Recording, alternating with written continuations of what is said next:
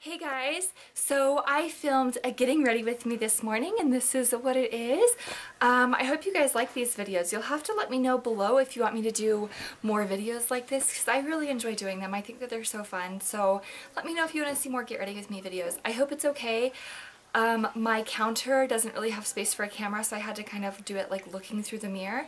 So I hope it's okay. I hope it worked out good and I hope you guys enjoy it. And um, I did get a new Instagram just for just for YouTube. So I have my like regular Instagram, which I'll link below, and that's just like all my family stuff, personal stuff, stuff like that. And then I have a YouTube Instagram where I'm going to be posting when I'm filming videos and stuff like that. So I will link those down below if you want to check them out. And also I'm going to link all of the makeup products and makeup brushes I used in this video below just in case you were wondering. And I hope you guys enjoy it. I'll talk to you later. Bye.